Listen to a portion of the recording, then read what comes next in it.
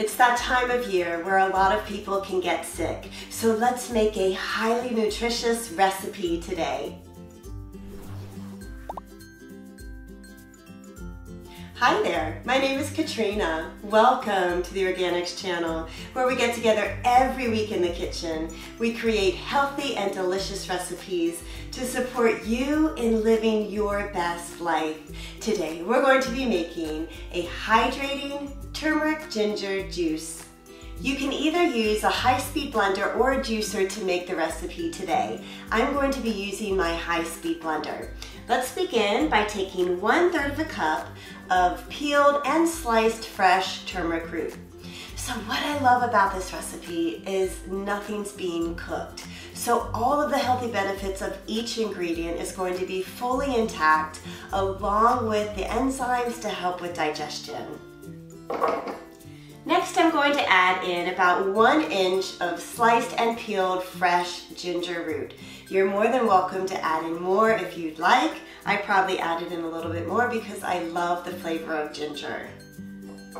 One half of an organic peeled or unpeeled lemon. It's totally up to you if you want to leave the peel on. The peel does contain a lot of the same nutrients as the fruit itself does one small chopped up organic apple just for a tad of natural sweetness. And when I say small, I mean small. It's a very small apple, but you're welcome to add in a larger one if you'd like. Last, I have two cups of unsweetened coconut water, which is loaded with electrolytes that's necessary for a healthy digestion and hydration. You just want to be sure to use coconut water that doesn't have any sugar that's been added. Blend up all of your ingredients really well. And then we're ready to filter through either a fine mesh strainer or a nut milk bag, which I found to be super helpful to get every last nutritious drop of our juice. This ingredient is optional. For an added boost of nutrients, I'm going to add in one scoop of our OrganiGreens juice powder that also includes prebiotics, probiotics, and enzymes for supported digestive health.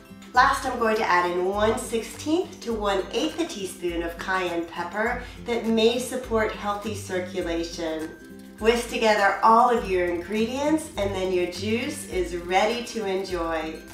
It is taste test time. I want to let you know, if you did use our OrganiGreens, sometimes it can have a tendency to settle to the bottom. So as you're drinking it, just give it a nice stir. You might want to drink it with a whisk or a spoon. Okay, it is time. Let's give it a taste.